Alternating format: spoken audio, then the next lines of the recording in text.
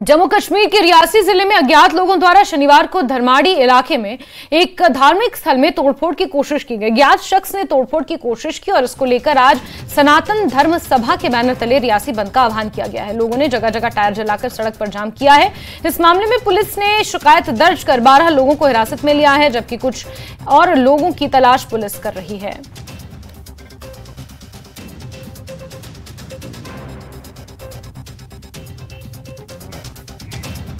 और इस मामले पर एसपी ने क्या कुछ कहा है, सुनते हैं। अनोन व्यक्ति ने मंदिर में घुस के एक कायराना हरकत की है, मंदिर को वेंडलाइज करने की कोशिश की।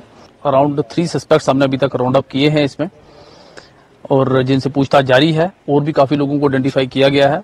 पुलिस की टीम्स ऑन जाब हैं, लोगों को पूछताछ के लिए बुलाने के लिए। हमारी ये कोशिश है कि जल्द अज जल्द हम कल्प्रिट तक पहुँच पाए।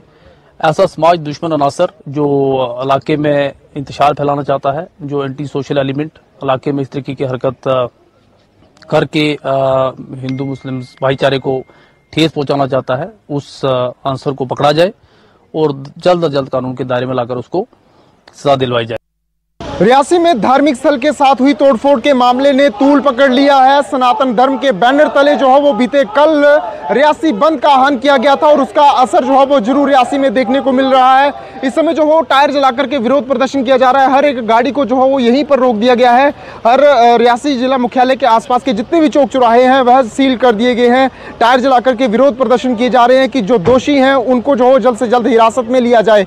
अभी तक जो है वो यहाँ पर रियासी पुलिस की तरफ़ से 12 अ, जो संदिग्धों को जो है वो हिरासत में लिया गया है, जिनके ऊपर जो कहीं ना कहीं शक की निगाह ज़रूर बनती है, उनको जो अब हिरासत में लेकर के पूछताछ ज़रूर की जा रही है। लेकिन फ़िलहाल रियासी जिला मुख्यालय के आसपास की जितनी भी सड़कें हैं, वो जो है वो सील कर दी गई हैं। इस समय प्रदर्शन जो है वो सनातन धर्म के बैनर तले ज़रूर किया जा रहा है। विभिन्न हिंदू संगठन जो है वो इसमें शामिल है। तमाम व्यापार मंडल जो है वो इस प्रदर्शन में जो है वो कहीं नहीं सहयोग दे रहा है और रियासी बंद का ज़रूर यहाँ पर जो हो असर लेखा जोखा ज़रूर देखने को मिल रहा है। न्यूज़ एटीन नेटवर्क के लिए करणदीप सिंह, रियासी।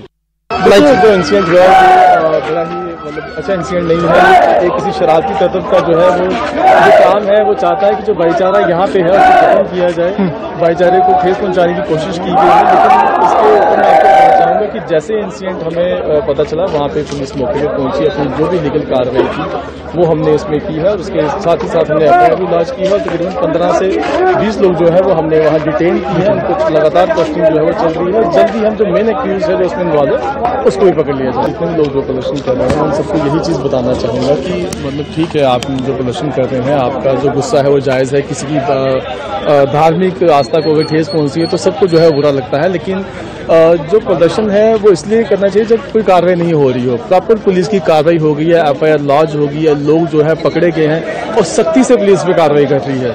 तो इसलिए सबको जो है वो थोड़ा संयम रखना चाहिए, थोड़ा सा टाइम देना चाहिए और अपना आपसी भाईचारा जो है उसको कायम रखना चाहिए। और अखनूर में चुनाव